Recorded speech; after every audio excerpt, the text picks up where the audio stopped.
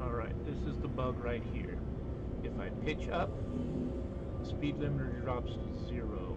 If I pitch down, it goes to max. Since I normally pitch down at some point during a landing approach, any throttle movement will have me dive into the landing pad. So, let's take a look at that.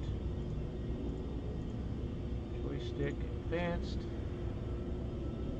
Slight movement. The x-axis rotation on input 2. If I get rid of that entirely, uh, there we go. Get rid of it entirely. I am now pitching. This is just a pitch movement, which is no longer bound to anything. In fact, I have looked for unit 2 and the x-axis rotation and unbound it in every single control binding. So this should not be happening. There is no way that this joystick axis should be affecting the speed limiter.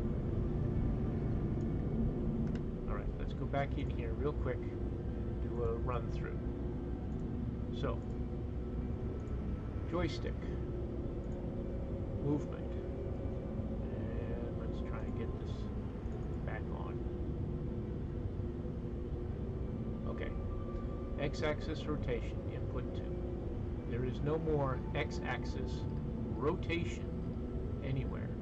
All speed limiter, except for the button inputs, which I tried to do it, and the uh, toggle, which I tried to uh, tried to use the button inputs to override whatever was happening, and that did not work. But nothing else is bound. Nothing else is bound. Gamepad. I do not have a gamepad installed. Thumbsticks. Okay, so that has a pitch on the thumbsticks, but again, nothing on the speed limiter. Keyboard, mouse.